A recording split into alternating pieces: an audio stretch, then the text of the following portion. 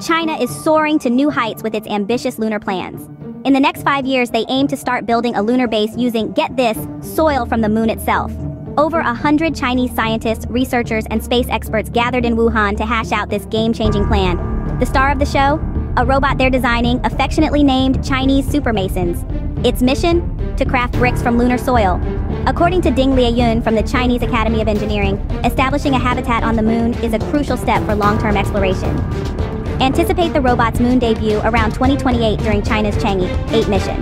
But first, around 2025, China plans to bring back soil from the far side of the moon, having already collected soil from the near side back in 2020. China's ultimate goal? To establish a research station that will enable astronauts to stay on the moon for extended periods. These exciting plans were discussed at the Extraterrestrial Construction Conference at Huazhong University of Science and Technology in Wuhan. Stay tuned for the next giant leap.